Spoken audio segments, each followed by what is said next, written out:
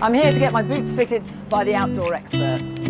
So, Kate, I need finally a new pair of boots. Um, Okay. What I know about my feet is that they're very skinny Okay. and they're sort of collapsing a little bit, so I need lots of support. Collapsed That's about it, really. arches. Okay, we can find something like that.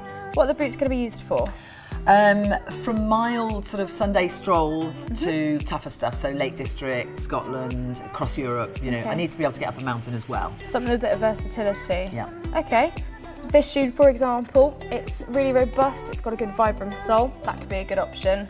I'd like to also just see how you feel about a leather Scarpa boot. Again, the same fit, really nice and narrow. It's going to give you that support you need. So finally, I'm going to suggest one more boot. This is the Lowa Renegade. The one that I'm holding is just a narrower version of this one. Right. This brand comes in a really tapered shape. It's wide at the front and the toe box, lots of space to wriggle, narrow at the heel. It really holds you in nicely.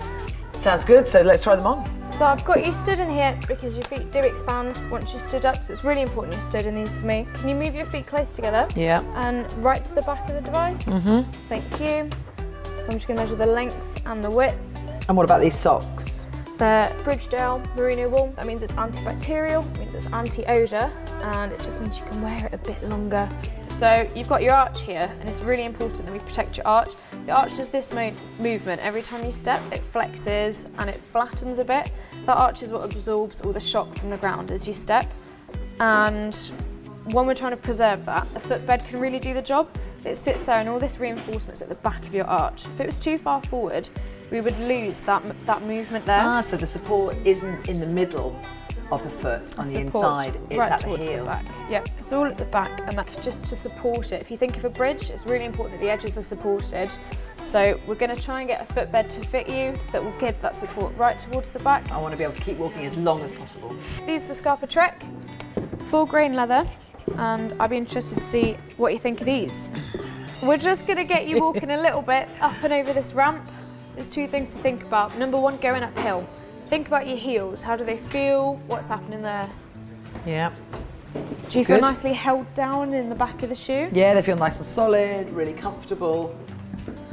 And then as you head down the ramp, I want you to think about your toes. Really scuff your feet, shove them into the front of your shoes. Oh, Have you got nice clearance for your toes? yep.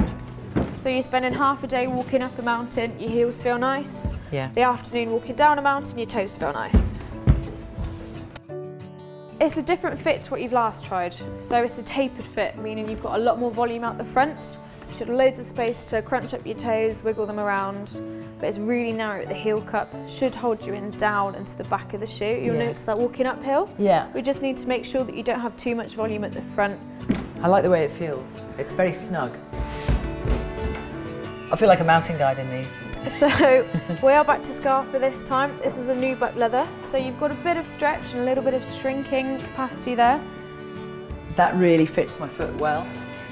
Thanks, Kate. You've been really helpful. You're more than welcome. I do just need to mention one more thing. In terms of looking after your boots, making sure they last you as long as possible, it's a nubuck leather. That does mean you have to treat it with nubuck leather specific wax. Mm-hmm. Companies like Nikwax or Granger's all do their own version. It will just make sure that the outside remains water resistant.